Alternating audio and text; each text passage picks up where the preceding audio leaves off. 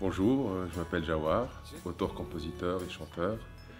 Euh, je viens de Tunisie et installé euh, depuis une dizaine d'années en Belgique. L'envie de faire de la musique remonte à, mon enfance, bien que j'ai commencé la musique assez tard en fait dans ma vie après. moi j'ai vécu 20 ans en Tunisie et j'ai baigné dans un milieu plus de théâtre. Mes parents faisaient du théâtre. J'allais voir des pièces tunisiennes avec eux quand j'étais petit et tout ça on écoutait beaucoup de la musique euh, chez moi. Euh, par contre, mes parents ne m'ont jamais mis un instrument entre les mains. Je n'ai pas été musicien dès mon jeune âge, euh, comme, comme certains. J'ai pas eu cette chance-là. Par contre, quand je suis parti à l'âge de 20 ans faire mes études, c'était une idée fixe dans ma tête, il fallait que je fasse de la musique.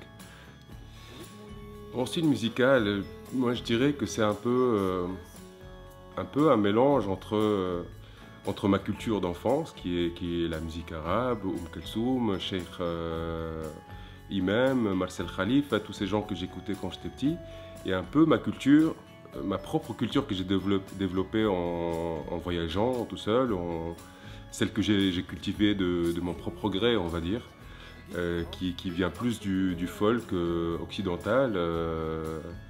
pourquoi ce retour aux sources par rapport au premier album? J'ai eu envie de retourner à des choses plus concrètes et de renouer un peu avec mon pays.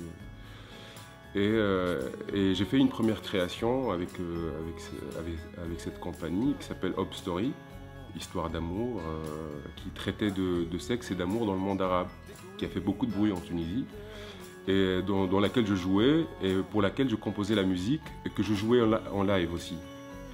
et ça m'a amené à écrire des chansons d'amour euh, en arabe, dans ma, langue maternelle, et c'était un défi pour moi.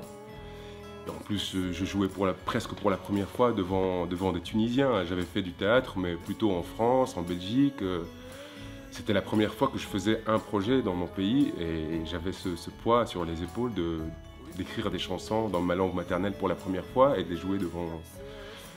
Et donc c'était une sacrée expérience pour moi. Et, j'ai pris goût en fait à écrire euh, dans ma langue maternelle depuis.